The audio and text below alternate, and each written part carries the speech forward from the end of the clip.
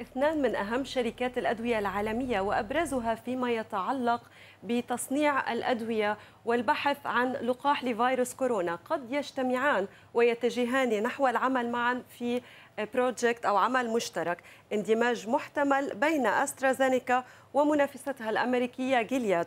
وأسترازينيكا في طبيعة الحال قد آه، آه، دمجت أسترا السويدية وزينيكا البريطانية في عام 1999 هذا الاندماج المحتمل ممكن أن يشكل أكبر عملية اندماج على الإطلاق في تاريخ الشركات الأدوية وقطاع الرعاية الصحية ويمكن أن يصل إلى قيمة 240 مليار دولار. بلغت القيمة السوقية لأسترازينيكا نحو 140 مليار دولار وتخطت بذلك شركة رويال داتش شيل لتعتبر الآن أكبر شركة من حيث القيمة السوقية في بريطانيا وجيلياد بنحو 96 مليار دولار بحسب أسعار إغلاق الجمعة الماضية. أكبر صفقات الاندماج والاستحواذ في قطاع الرعاية الصحية كانت عام 2019 بين سيلجين وبريستول مايرز سكويب وبلغت نحو 87.6 مليار دولار أي أقل بنحو 150 مليار دولار عن الصفقة المحتملة التي نتحدث عنها. صفقات عديدة مثل ألرجين أبيفي شركة فايزر أيضا وعام 2018 بقيمة 81 مليار دولار صفقة بين شاير وتاكيدا.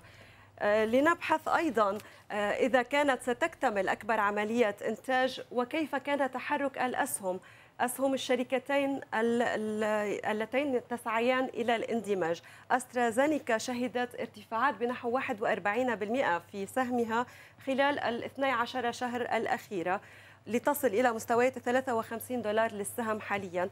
وجيلياد شهدت ارتفاعات بنحو 19% لنفس الفترة تقريبا. السهم عند 76 دولار وشهد أكبر ارتفاعات في شهر أبريل عندما دعمت دي اي النتائج العقار التي توصل إليه في ذلك الوقت. سباق الشركات مستمر نحو الوصول إلى علاج فعال لفيروس كورونا.